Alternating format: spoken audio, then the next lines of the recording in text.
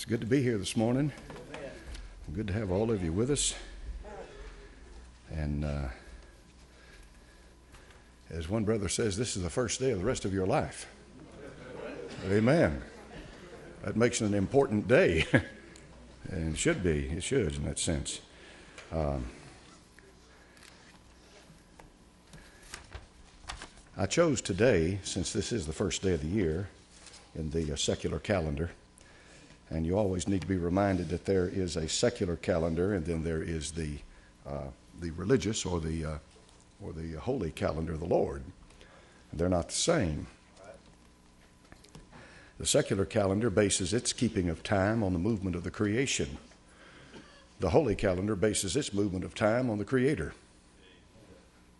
Big difference. Because when the Creator created, when the Creator saved me in 1973, that's when my time started. Yes, sir, brother. Amen. And then the month, the month Abib, which is the first month in the in the holy calendar, is in the springtime, because that's the beginning of life. That's when life starts shooting forth.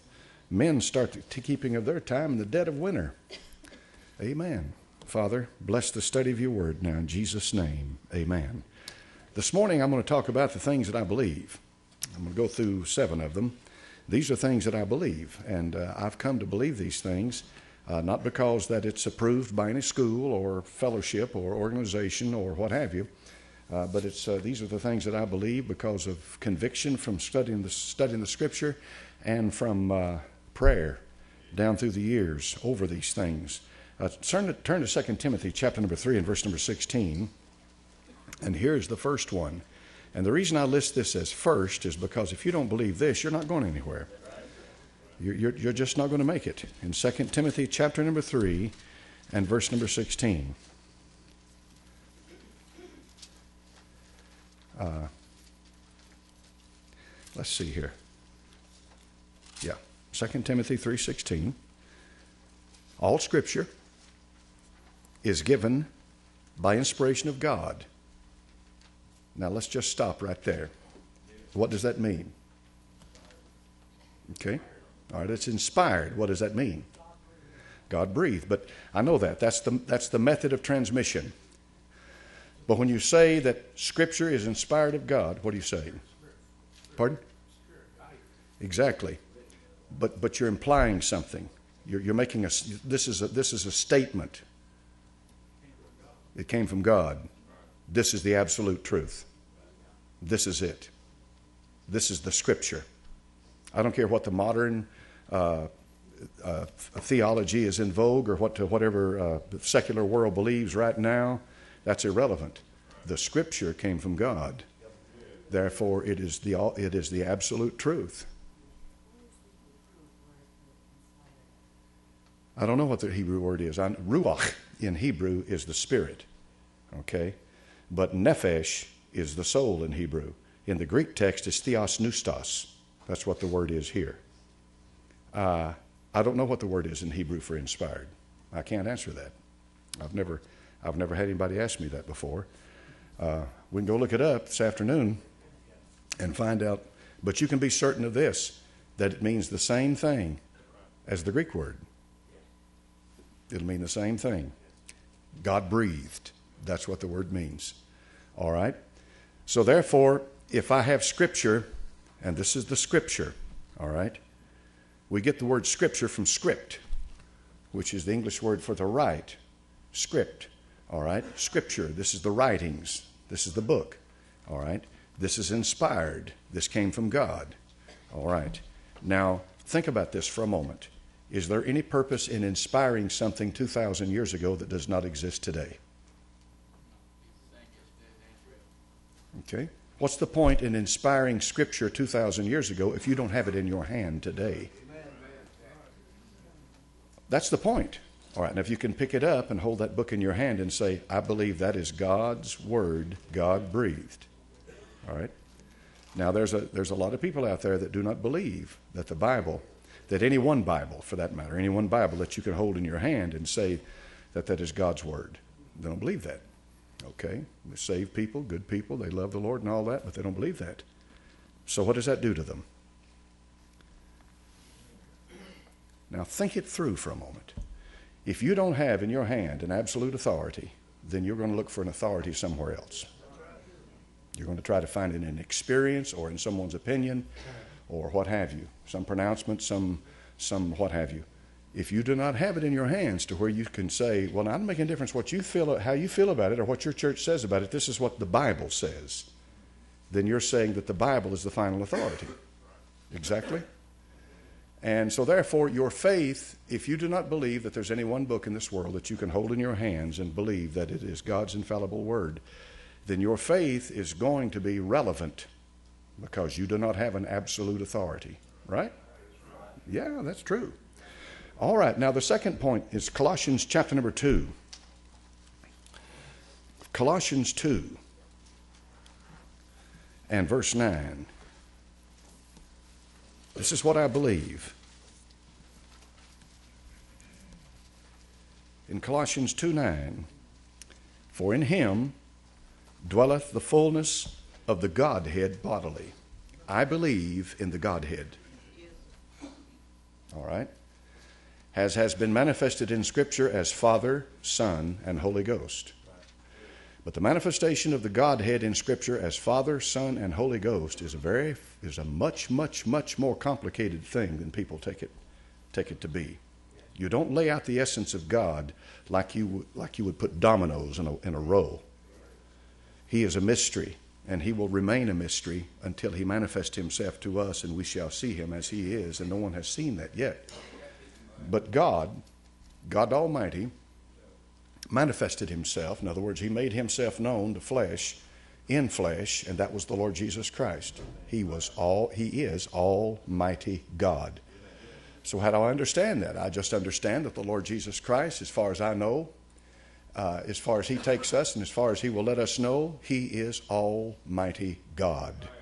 If he is almighty God, there is no God apart from him. Right? I mean, think these things through. You say, well, what about God the Father? Is he a separate God? No, he's no separate God. There's only one God. Hear you, O Israel, the Lord your God is one Lord, one God. That's called the Shema. Deuteronomy chapter number 6 and verse 4. Israel based their faith on the simple fact in the Old Testament that, here's a big high sounding word, and I know you've heard it before monotheist. Monotheistic. Mono means one theist God or one God, all right? Polytheist or is, is a person who believes in many God. Pantheist believes that God is in everything. All kinds of all kinds of uh, takes on that word theist. There are theist and there are deist. A theist believes in God. A deist believes that there is a God who made it and then sat back and is going to watch it and see how it goes. He has no, he has no real personal uh, put, he, has, he has no personal input or no real concern about what's happening. He kind of observes everything. That's deism. And we've had a lot of deists down through the years. But a theist is one who believes that there is a creator God, and that creator God is concerned about what's going on in this world.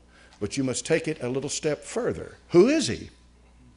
When Paul got to Athens, Greece, he got in the midst of, uh, of the. Uh, they had this, this was the product of the golden age of Greece which was about 300 BC. Socrates, Plato, and Aristotle are the three pillars of Greek philosophy Socrates, Plato, Aristotle. One taught the other who taught the other. One was a student of the other who was a student of the other. They believed that there was a successive steps of godhood, and they believed in a in this in this kind of a mystic spirit world. And they believed in uh, that God could be known, but He could only be known in a in a kind of a esoteric, in other words, an inward, spiritual type way, where you have to communicate with spirits into the spirit world. They they laid the foundation of Gnosticism. They laid the foundation of Gnosticism. And so when the Lord, and so when the Apostle Paul got to Athens, Greece, he saw a, he saw an altar to the unknown God. They didn't want to offend any of them, see, and they didn't they couldn't be certain of all the gods. See, unknown God. These, these, these, uh, these, uh, these Athenians were polytheist. This demiurge, they believed a demiurge was the God up here that did the creation, but there may be a God above him and gods below him. This is the problem with the unknown God. You don't know him personally. So the Apostle Paul seized upon that opportunity to say to them, Well, let me tell you about the one you don't know. That was wisdom. it was. And he stood at Mars Hill, and I stood on Mars Hill, and he looked up at the Pantheon right above him. The Pantheon. Where inside the Pantheon, Pan means the pan, the uh, Pan means a spread, a broad, theon, theos, a spreading abroad of God. And inside that building, they had a female god. You know who it was? Who was that female god inside that big building up there on the top of the, of the, uh, of the with the Pantheon? It was in a building called the Parthenos. Yeah, Diana. Well, Diana was the Ephesians. Mm-hmm. Sophia was the name. Sophia was the name. In every culture, they had a feminine god. Mm-hmm. Mm-hmm. And in this, in this, in this, in this Parthenos, they had Athena the Virgin. That's why it's called the the uh, the word the word for virgin in Greek is is uh, is uh, Athena. All right, but there's another word for virgin in Greek was Parthenos. The word used for the Lord Jesus Christ when Mary was born in Bethlehem of Judea, a Parthenos, a woman who had never known a man. That was the Greek word used for it. So they had a female god, yes. Athena. And she's known as Athena, she's known as Artemis, she's known as Sophia, she's known as, uh, as uh, Aphrodite, she's known by all kinds of names. They all have their own take on it, and they all put their own little spin on it for their culture, but it's all the same thing. You remember the Old Testament? He said, You bake cakes to the who of heaven? Queen of heaven. See, the Queen of heaven. And so when the apostle got to Athens, Greece, he got in the midst of uh, Greek philosophy. And they were the they were the learned people of the world, folks. I mean, all you got to do is go to Athens, go to Greece, and go to Athens, and go to the ruins of Athens, and look at what kind of a culture these people had built. And all you do, all you have to do, is to travel from Athens, Greece, and huge marble structures that are beautiful. With this, this Athena the Virgin, they say, I think was something like 30 to 40 feet tall inside the Parthenos. All right? And you can you can look at that, look at the beauty of this place, and then travel about uh, oh about uh, about a, about 1,200, 1,300 miles north, and they're living in mud huts. Is there a difference? As far as they're standing before God, there is no difference. But as far as the advancement of human culture, they're worlds apart. They're worlds apart. And that's what we're talking about. The Apostle Paul said, I came to tell you about this unknown God. And the and New Testament, the New, one of the proofs of the, New, of, the, of the inspiration of the New Testament is the fact that it never gets into all these gods. In other words, it never believes in them. It may, it may be mentioned, but there's only one true living God. And that's from Genesis to Revelation. The New Testament, and the Old Testament never, never come into agreement with the pagan philosophies of their day or the pagan misunderstanding of the Godhead. And so I believe in the Godhead. Do I fully understand the Godhead? No way, Jose. But I believe in the Godhead. And I believe the Lord Jesus is Almighty God. Now look over here in John chapter number 3 and verse number 3. John 3 3.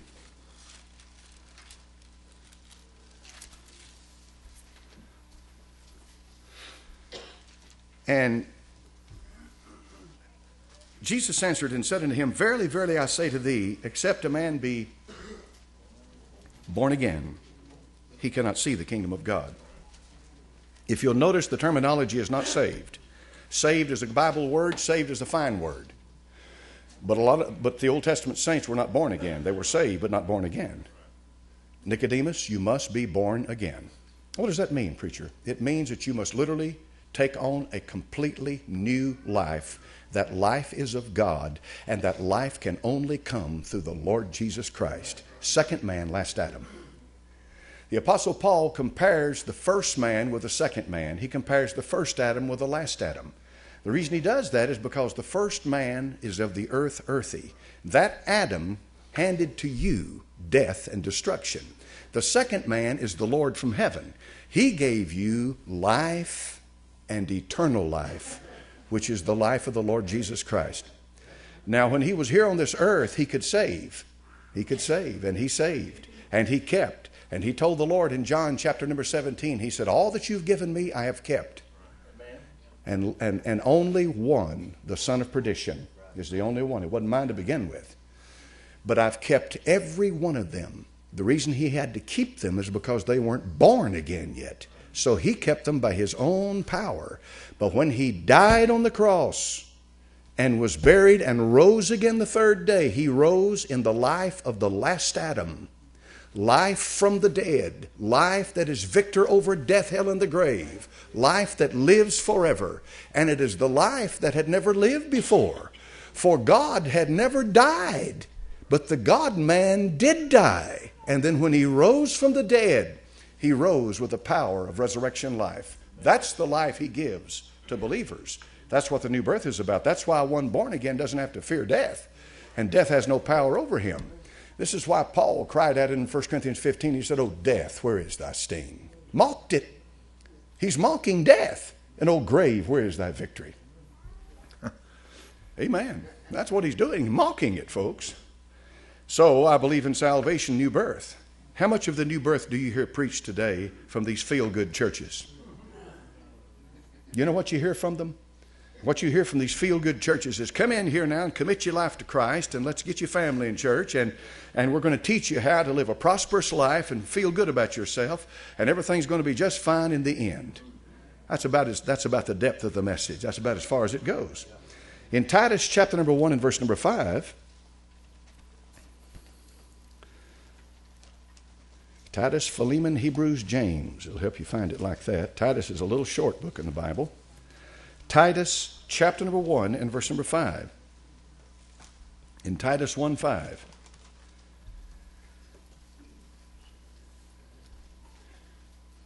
For this cause left I thee in Crete, that thou should set in order the things that are wanting. Now watch carefully. And ordain elders in every city, as I had appointed thee. Now, who is this?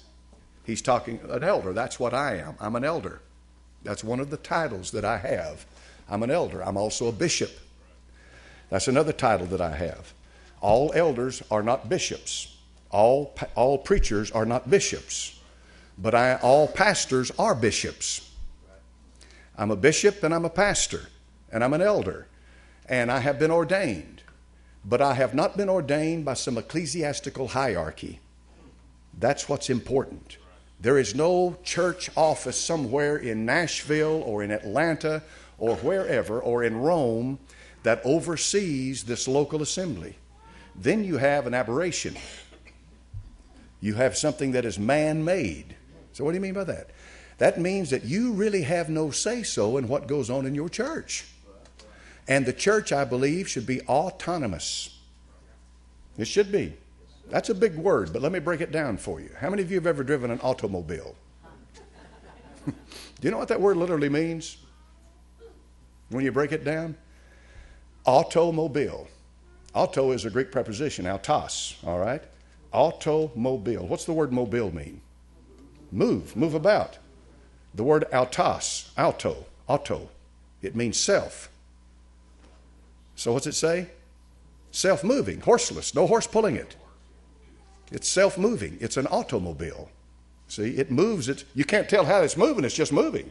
It's moving of itself. Of course, you know it's got a motor in it. All right. Autonomy. Nomos is law. Okay? Auton- autonomous. Autonom- autonomy. That means self law or self governing. That's a big word and it's an important word. What's that mean, preacher? It means that the church governs itself. I believe in that. I don't believe in some hierarchy coming to govern you. I believe the church ought to have the right to pick and choose its pastors. And if you get yourself a dictator and a devil, get rid of him. But there are churches all over this land, folks, who have no say so in their pastor. They're appointed by a religious hierarchy. That's no good. That's no good. That's no good at all. So I believe in an autonomous, self governing, that has to do with polity. Not politics, but polity. There's a big difference between the two words. Polity has to do with the order of the way the church conducts itself and its authority. And the church polity should be in the hands of the people. I believe that, don't you? I believe that in this nation we have a democratic republic. Thank God the majority does not rule. Amen. Amen. Thank God you're governed by law.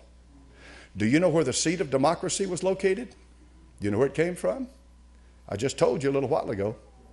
The Apostle Paul was in there and he was on Mars Hill looking up at the Pantheon, the spread of gods, to the Parthenos, into the building that, that housed Athena, the Virgin.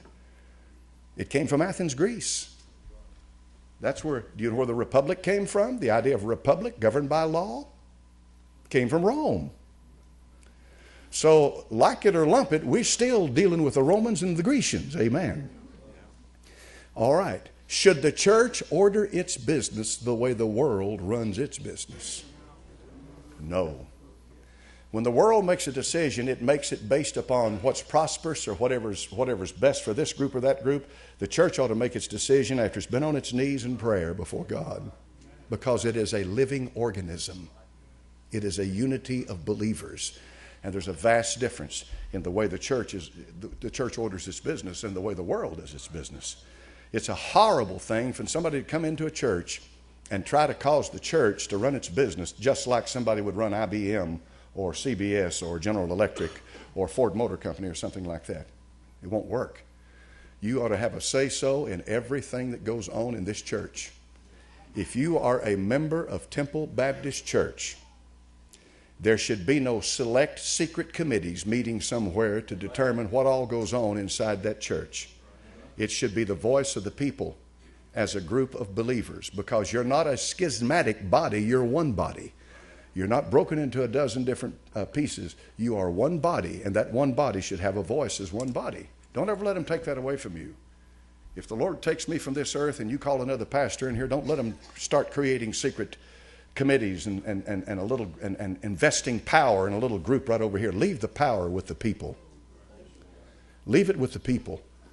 And don't let somebody be able to get up in front of you and say, well, our group has met and we don't feel like this man is qualified anymore to be here or this or that or we want to do this. No, no, no, no, no. You get up in front of the people and say, how many of you want to do this and how many of you don't want to do it? You make your vote and the majority wins because that's the body of Christ. That's the way I've felt for 35 years ever since I've been here. And I feel like that that is definitely the way that a church business should be run. Now I want you to turn to Mark chapter number 4 and verse 11. Mark 4:11. Mark chapter number 4 and verse 11. And he said unto them, Unto you is given to know the mystery of the kingdom of God, but unto them that are without, all these things are done in parables. All right, now, I've listened to this lady from Vanderbilt University. She's real smart. She's a professor of religion at Vanderbilt. I've listened to uh, some of these, uh, one I think University of Chicago, and uh, some of these theological seminaries across the country. Anytime the, the History Channel or some of them do a, do, do a special on, uh, for example, the birth of Christ or the early apostles or what have you, they'll interview these people. They want to know what they have to say about it. And without exception, every last one of them approaches it on a scholarly level as if they were reading Shakespeare or, or, or something of that nature. They have no insight at all into the spiritual context of what's going on. Note carefully. I have, I have, I have, I have a firm belief in eschatology. Now that's another big word, but it's, it's a conjunction of two words. It's the conjunction of the Greek word eschatos, and the ology on the end is the wisdom of. Like psychology is the wisdom of the soul, supposed to be anyway. All right, eschatology, what's that mean? Eschatos in Greek is last or the end. So eschatology is the doctrine of last things, and that's a big deal, folks what's going to happen in the end. Now, generally speaking, it's broken down into three categories premillennial, postmillennial, amillennial. Believe me, in either group, any of those groups among the three, you will find people who love the Lord, that are, that are absolutely believers in Christ, that would give their life for Him, because I've read their works, and there's no doubt that they love the Lord Jesus. I am premillennial. Now, in premillennial, you can break that down. It even is even broken down further. You have premillennial who believe in the calling up or the catching up of the church of the living God. And I can't believe that somebody would be premillennial and wouldn't believe in that. I'm premillennial. I believe that God's going to come and catch the church up. He's going to come and call it to himself. But here's the issue. Here's where the rub comes. When is he going to do that? Among premillennial brethren, you have those who believe in a pre tribulation rapture, those who believe in a mid tribulation rapture, and those who believe in a post tribulation rapture. I believe in a pre tribulation rapture. I believe the Lord's going to come, catch his bride up, to meet him in the clouds, meet him in the air. But I want you to notice something about this. Notice what he said. He said, It is given unto you to know, to know the mysteries of the kingdom of what? All right, look at John 3 3 again. Hold your place right there and look over at John chapter number 3 and verse number 3. John 3 3.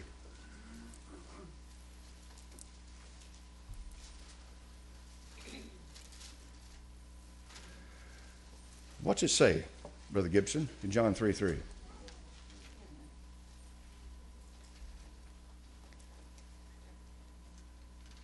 Jesus answered and said unto him, Verily, verily, I say unto thee, except a man be born again, he cannot see the kingdom of God. Cannot see what? Cannot see the kingdom of God. Kingdom of God. He said to his disciples, It is given unto you, not to them, but unto you, to know the mysteries of the kingdom of God. This is why the professor of religion at the University of Vanderbilt, University of Chicago, and all the rest of them can never understand the spiritual content of the last days. The reason is because they've never been born again. They're not saved. They see, they see the Lord Jesus in a historical context as a great teacher, great man, wonderful, laid, you know, he gave us great precepts that we can follow today, make ourselves better, better life, blah, blah. All relative stuff. But as far as accepting Him as their Lord Jesus Christ, born again believer in Him, no way. No way. Not for a moment. Because in order to be born again, first of all, you got to be lost. You can't get a man saved till he's lost. When he gives up. And it seems like it's elementary and, and it would be kindergarten theology, but it's the truth. Nobody's lost anymore. Hasn't the devil worked quite a one on them? They're all spiritual and they're all religious, but they're not lost. Well, I'll read a letter to you in just a moment. And when I preach this morning, that'll break your heart that I just got this morning on our prayer page, the first day of 2012. It's one of the most remarkable things I've ever seen. Yes, sir, brother. Why would uh, missionary Baptists uh, preach that? Uh, I had had one preach one time. He was ordaining a bunch of uh, deacons, and I happened to went with a friend of mine, and I could have hid under the table if there had been a table to hide on because he was saying that us premillennials were sending people straight to hell. Yeah, that's that's kind of a well. That's isn't that sad? You heard what I said about the all and the post millennial. I know a dear brother out here in Halls. He loves the Lord, no doubt in my mind, but he's not premillennial. And uh, uh, for somebody to make a statement like that, he says it out of frustration. He's frustrated because he can't he can't deal with them out of the Scripture. You know, if you want to sit down with him and say, well, let's open the Bible, and let's compare notes here, let's see what you believe and what I believe, what you believe. I... No, no, he's just he's just angry and he's frustrated, and he's taking it out by making a making a, a stupid statement like that. Well, I knew that uh, I was the only one premillennials. Yeah, yeah. You were the only premillennial. Did, they, did anybody know that? they knew you were. It'd be an uncomfortable place to be. Yeah, I don't say that. I don't believe that. that. I don't believe that for a minute. That just because a man doesn't agree with me on eschatology, he's going to hell. I don't believe that for a minute. I don't believe he's sending people to hell. Do you believe that? Good. No, no. It is cult like. But that's what happens. It's like when you're running for office, if you can't run on your record, what do you do? You dig up all the dirt you can and whatever you can do against your opponent but you never deal with the issues because you've already failed in the issues. Just a little hint about what's coming in 2012 in November. yes, sir.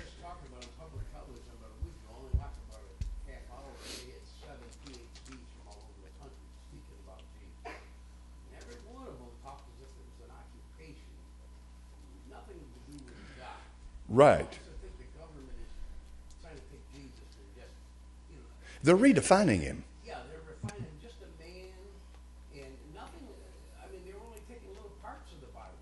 I was getting. like- Oh, yeah. Yeah, they were only taking little pieces and there's an occupation and there was some other people doing the same thing that he was more popular. And these are PhDs from Boston and New York, I mean, all over the country. And I Right. said to myself, you know, how could they? Well, here's here's the way a man like that thinks. Now, if you if you really got, he'd never tell you this, but he's got a PhD. Okay, now that takes a lot of lot of time. Usually, at least about six years, seven years, maybe. To, you got first a bachelor, then a master, then you have to make a thesis on PhD, do some research and all that. You're a master in your in your in your uh, in your discipline of study. And he gets into that, and he and he and he's proud of his education. He's proud of his wisdom, and he knows he's smarter. He wouldn't be where he is. And uh, and then he becomes jealous of this Jesus, this this Jewish carpenter that lived two thousand years. So he diminishes him, but he can't do away with him. He's smarter than that. He knows that the historical evidence supports it completely. But here's what eats him up. He knows a hundred years from now nobody will even know he ever lived, but they'll still be talking about Jesus. That's that's what eats him up.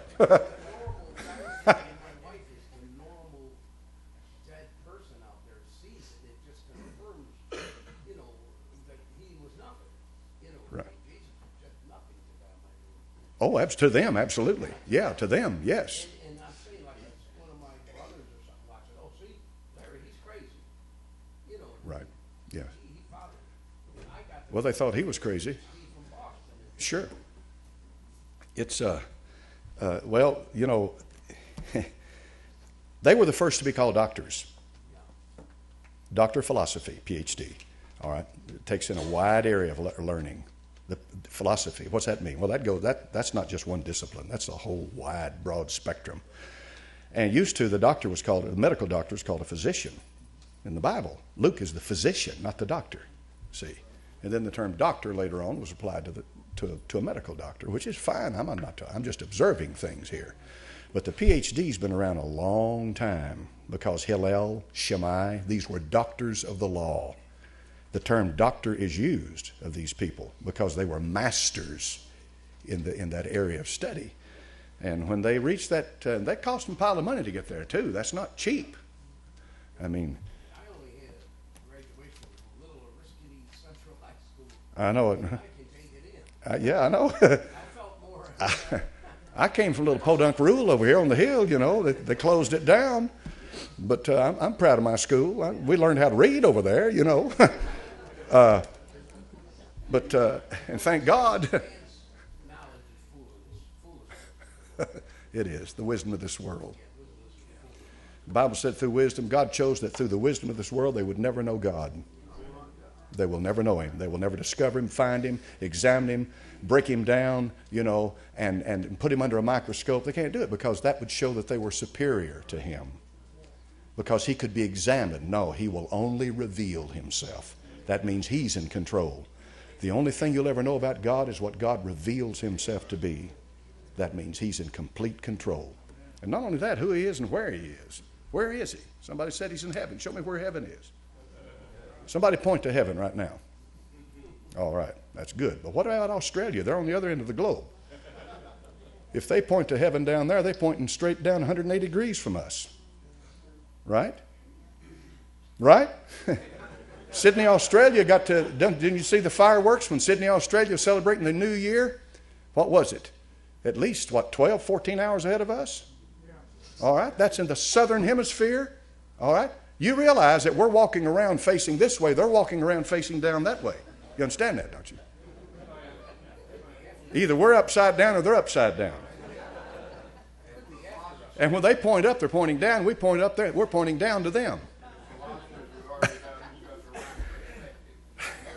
the philosopher would talk about the perspective because the philosopher would immediately go into the relativism of it. Sure, he would. Yes, sir. He knows if they're before us or after us. Well, I don't know if I'm on top or bottom. Do you? I know. Well, he calls time to be no more, so he had to start it, didn't he, brother? Over there in Revelation. I mean, seriously, am I on the top or am I on the bottom? Which one are we? Are you on the top of the earth or the bottom of the earth? You're on a circle. I'm going to heaven. I'm going to the third heaven. I'm going to where God is. And I'm not interested in any direction. But we do know that the North Star is Alpha Draconis.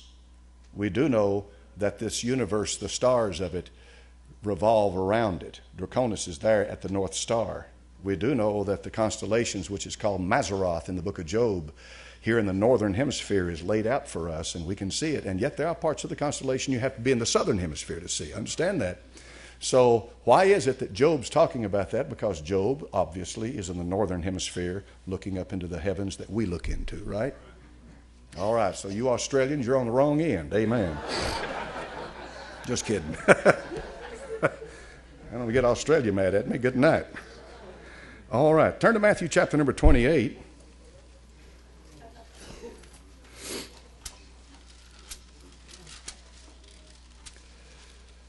Matthew chapter number 28, verse 19. All right. Matthew 28, verse 19. These are some of the last words the Lord spoke. And here's what he said He gave a commission. He said, Go ye therefore and teach all, people, all nations, baptizing them in the name of the Father, the Son, the Holy Ghost, teaching them to observe all things whatsoever I have commanded you, and lo, I am with you always, even to the end of the world. Amen. All right, that's the Baptist commission. Let me give you the Pentecostal commission. Turn to Mark chapter 16.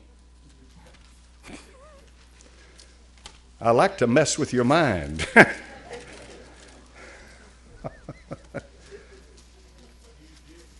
the whole idea is messing with your mind to make you think. All right, here's, the, here's, the, here's our brethren, and they are our brethren. They love the Lord. Yeah, just like us, they got lost in their midst, just like the Baptists have lost in their midst. But the Pentecostals have born again believers that love the Lord Jesus just like you have. Yes, sir. Uh, Mark chapter number 16 and verse number uh, 15. Mark 16, 15. Go into all the world and preach the gospel to every creature. All right, Baptists and Pentecostals can both agree on that. He that believeth and is, uh oh, baptized shall be saved. He that believeth not shall be damned. Now, watch this. And these signs shall follow them that believe. In my name shall they cast out devils. Well, I can get a lot of Baptists to agree with that. A lot of Baptists won't agree with that, but a lot of Baptists will. They shall speak with new tongues. Uh oh. They shall take up serpents. I know some folks up in the hills of Kentucky, Tennessee, West Virginia. They get very serious about that. Yes, they do. They get very serious about it, folks. They shall take up serpents. If they drink any deadly thing, they get serious about that too. It shall not hurt them. They shall lay hands on the sick. Now, I can get a lot of Baptists agreeing with, with me there. And they shall recover. So then, after the Lord had spoken unto them, he was received up into heaven, sat on the right hand of God. They went forth and preached everywhere, the Lord working with them, confirming the word with signs following. Amen. Now, forget whether I believe anything. Ask yourself this what do you believe? And why do you believe it? See, ask yourself what you believe and why you believe it. Remember, you're held accountable for what you believe, not what I believe. You see, I, I, how long have I known that's been in there? Since 1973. How many times have I read that? I couldn't count. I wouldn't even try to tell you how many times I've read that. How many times have I read over there in Acts chapter number 10? On the day when, uh, when, the, when Peter was preaching to Cornelius, and Peter later on recounted what had happened. He said the same thing happened to them that happened to us. In Acts chapter number 2, the Bible says that 16 different uh, nationalities, people, groups, ethnicity, whatever were there, and the Holy Spirit came down upon them and they began to speak with other tongues as the Spirit gave them utterance. You know what it did? I got to digging real hard. I said, okay, now, what's this other tongues thing? What is this? I had to be satisfied in myself what's going on. The Apostle Paul says that uh, he says, forbid not to speak in tongues in the book of 1 Corinthians. I thought, well, I got to deal with this. I got to deal with it. So I started going out to Pentecostal churches. I've been all over the place in Pentecostal churches, been to Pentecostal meetings, met some of the sweetest people I ever met in my life, loved the Lord, no doubt in my mind. I did discover that a lot of people in the Pentecostal church are seeking for something in tongues and in a genuine heart, a genuine heartfelt desire to do it. But just like a lot of people, they don't want to put on anything. They don't. They want it to be real. How many know? How many know what I'm talking about now? When they do something, they want it to be real. So they're waiting for this gift from God to be able to speak in tongues, and it doesn't come to them. Okay, I learned that. I learned that firsthand. I'm talking about what I read anybody. I learned it, okay? This is not being critical, this is being observant. So you have an element that wants to teach them how to do that. And they're probably sincere in what they're trying to do and all that, but that raised a red flag with me. In my young Christian walk, I'm talking about, folks, a long time ago, because I sincerely wanted to know what's going on with the tongues thing, what's happening here. And had these that want to teach them how. I thought, if this is of God, you don't need anybody to teach you how to be saved. You don't need to be teach you when you receive the Holy Ghost. There's nobody needs to teach you. You've got the Holy Spirit. So I began to think to myself, well, now what is the tongues thing? So I got to digging a little deeper into it. In Acts chapter number two, it says plainly that every man heard in his own what? It was a discernible language. All right. I still had to I still had to square that though with the people that I knew they loved the Lord. I know they love the Lord. I know that. Yet they're speaking in this what they call unknown tongue. And so I said, Now Lord, what's going on here? Because I can't see what they're doing as to what this Bible's talking about. I can't see that. I can't I can't I, in my heart of hearts, I don't believe what they're doing is what the Bible's talking about. Are you following me on this? He says they live, they believe, they love the Lord. This is their thing. This is what they do. They do this because they think this is the power of God. They think God has them do this. They do this. It comes out of them. They do it. Did you get that? They do it. I was more settled, satisfied with that than anything else. That means they're sincere. They love the Lord. They're doing what they think they, they, they should be doing. They're doing what they think tongues are. They're doing it. We'll let them do it but I don't accept it Amen. as the Bible. Yes, sir. I think it's, it's just a devil's way of distracting people Well, he can he can use it. Sure, sure he can. He can. He can. Yes, sir. Uh, also, I think it's in the Bible, but also when someone speaks in tongues, there's supposed to be someone there to interpret. Well, the apostle in 1 Corinthians 14 says that tongues are given for a sign, and the sign is for them that believe not. Usually, it has to do with Jews, unbelieving Jews. The sign, and and and he also warned them in 1 Corinthians about everybody coming together and has a prophecy and has a word and all that. He said they'll think you're mad. The place of tongues in the New Testament is one of the most controversial things in the Bible. There's one thing you can know for certain. You can know the tongues in Acts chapter number 2 are languages. 16 different languages present, all right? Nobody can tell me they're speaking in tongues and force me to believe it if they can't agree with, with Acts chapter number 2. All right? That's a language.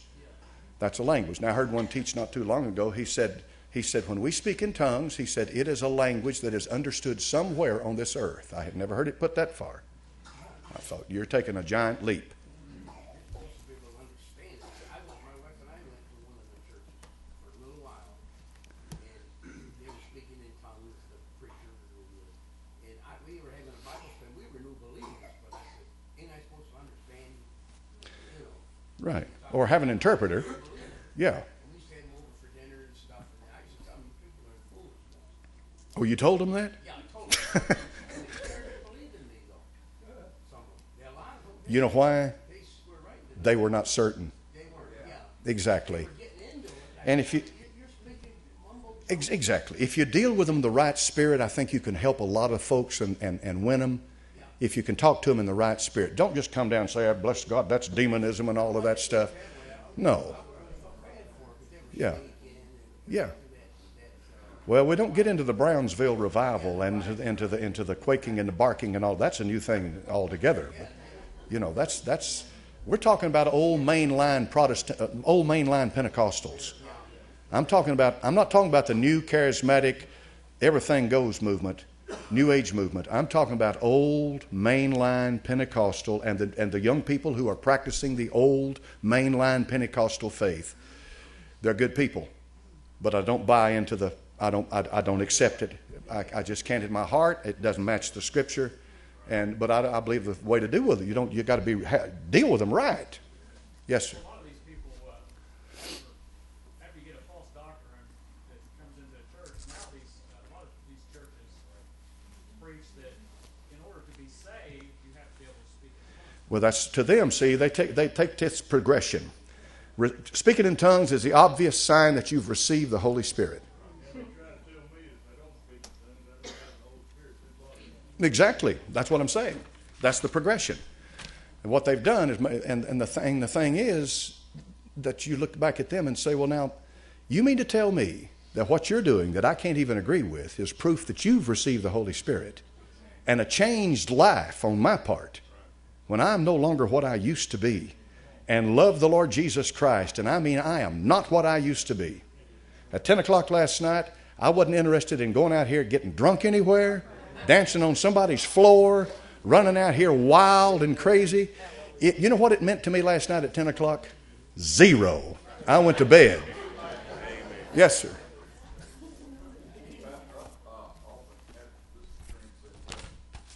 you could become a child of God and be so overwhelmed with what has befallen them in personal experiences. Sure, they can. And I, I've been to the point before where it's like Eli- Elijah got to the point, he prayed to die. And I have been in a situation many times in my life where everything, all all the cares and burdens of this world be so heavy upon you, and you can't like even speak the words, you can talk to the Lord, even, even in private, if you're in your closet. And, and this, I think, where Paul deals with it and says, he helps us, and the Spirit helps us great. When we, I want my message, I want my thoughts, my, my pleas heard, which is my right as a child of God, to be heard as a result of grace, and come over. But when I'm not able to utter the words in, in, in, in good speech, good grammar, then I believe that there might be that is groanings that the word I come from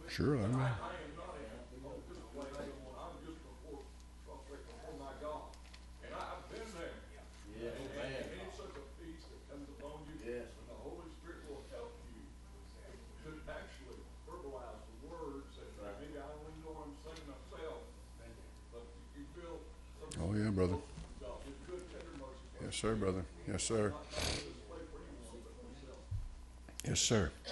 You need to get to the point to where you can have a relationship with the Lord and know you're standing with God without pulling somebody else down. That's very important. Just leave the people where they are. Let them, let, they love the Lord, let them do what they're doing, but be able to give an answer for what you believe. And when some comes to you, or some young believer comes to you and says, Do I need to speak in tongues? Say, If God gives you the gift of tongues, hallelujah, glory to God. But go to Acts chapter number 2, and it'll be right there. He said, With another tongue, he'll speak to these people.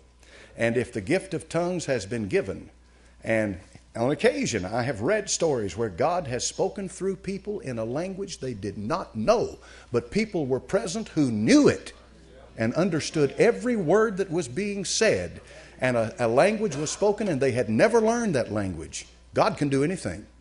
God can do anything. I'll buy that in a heartbeat. I'll accept it.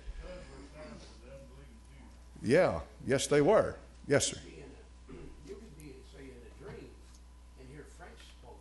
Yeah, yeah. You or where did all that come from?